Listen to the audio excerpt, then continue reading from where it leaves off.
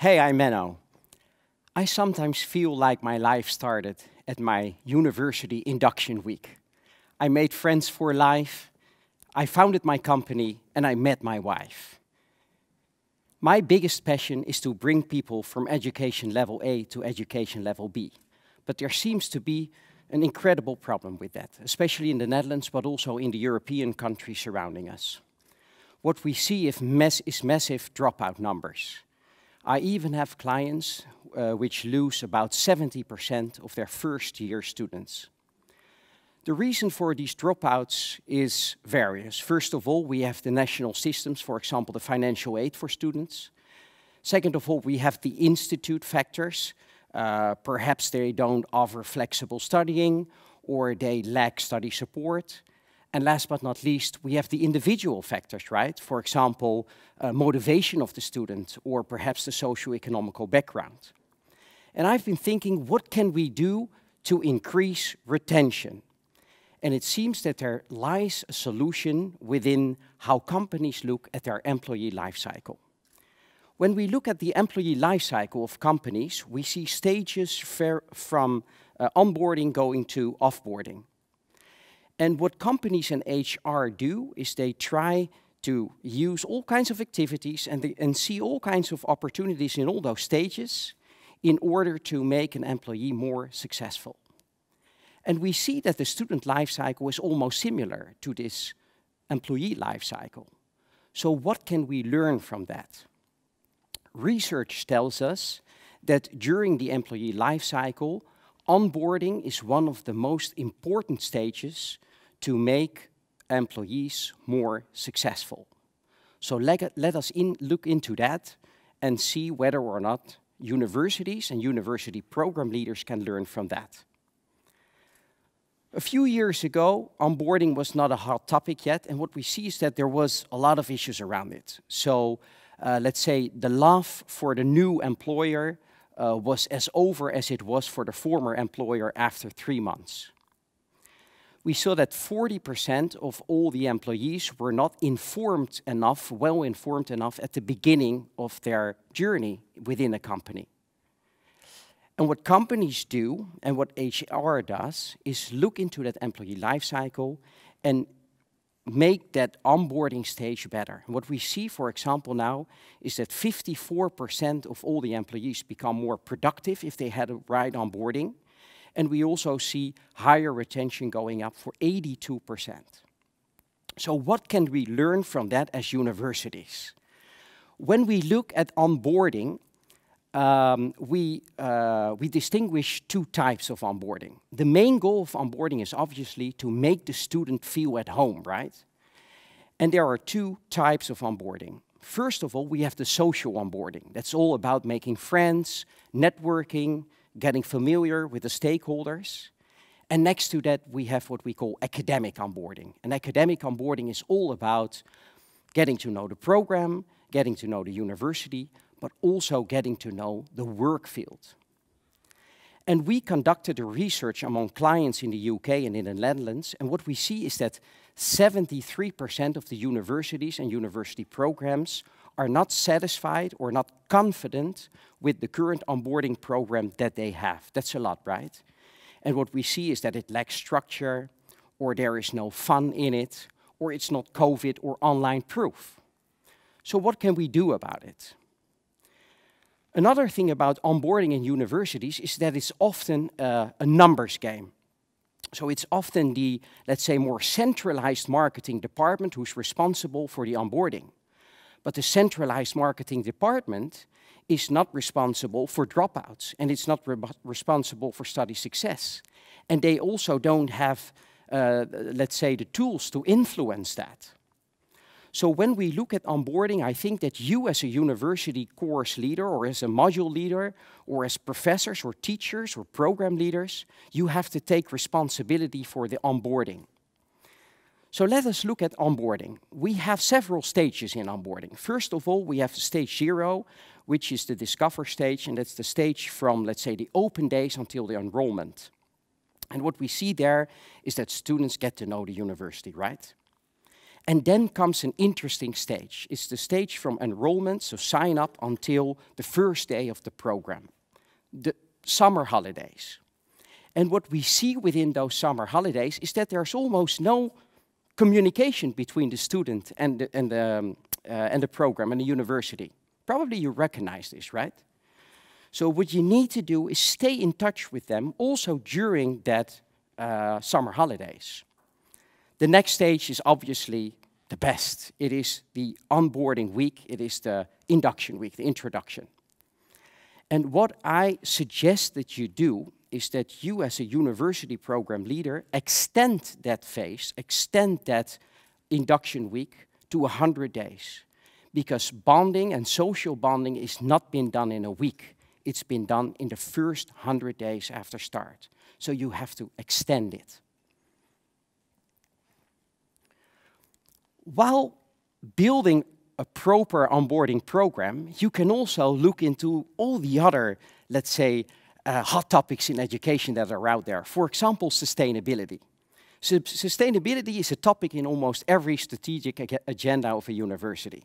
So why not build in a sustainability challenge or assignment in the induction week, for example? But another thing is also badges. So we see a lot of universities working with badges now. Why don't we let students earn badges before they enter your gate? So this is all about onboarding and telling you why onboarding is so important.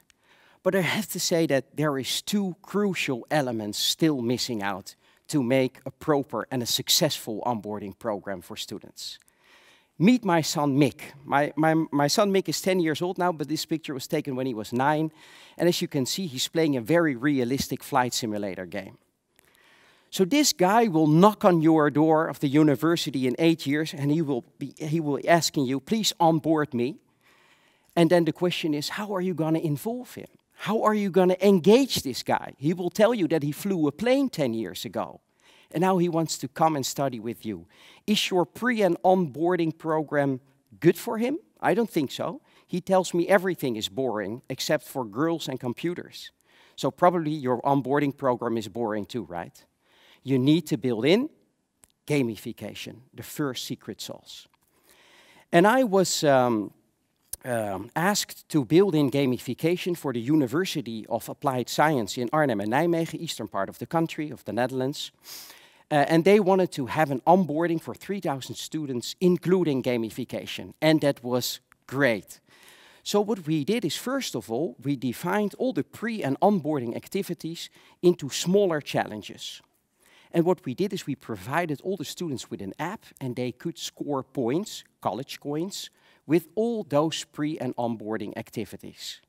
And engagement went up sky high. So for example, um, uh, we had they, they have a kind of uh, student satisfaction survey and usually only 15% of the student fills that, that out and now we had 95 or 99% of the students filling that out that was great but what we also learned is that during pre-boarding, you have to build in more individual exercises. And during the onboarding phase, you build in the, let's say, more group-based exercises. And that is also when you bring in competition. Not at the pre-boarding yet, but at the onboarding, you have to bring in competition. Students like it, they love it. Another thing that they did, and that was great also, was that in the first in induction week, uh, all the universities were closed last year, right? So what they did is they, they, uh, they came up with a zip code challenge. So students had to look each other up, uh, up in their neighborhoods and then work together on smaller exercises and make friends in their neighborhoods. It was great, it was great. So gamification, number one.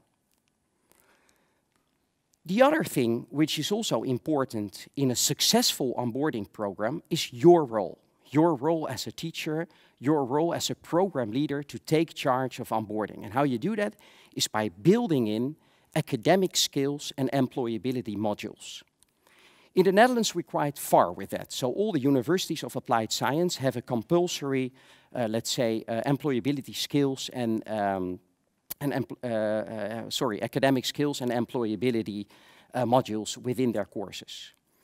But what you often see is that of universities say, okay, but that's the responsibility of a career center, right? No, it's your responsibility because you want to make the student feel at home. And how are you going to do that as a teacher, as a professor, as a lecturer? Well, first of all, there are four elements. We have the am I able element. That's all about capability. So what you're going to do is you're going to help the student develop study skills. Next to that, we have the being familiar element. That's all about becoming social, and that means that you're going to build in those 100 days, like I told you before. The bonding occurs in that 100 days. When we look at desire, it's all about the interests of the students. So you're going to tell them and you're going to explain them what the course is about, but also what the work field is about and what the roles are you're educating these people for, right, these students. And last but not least, we have the to-do or the act element. And that is where you provide continuous motivation. That is where you uh, show them different routes to the goals they want to achieve that is where you pay attention to students that have more difficulties.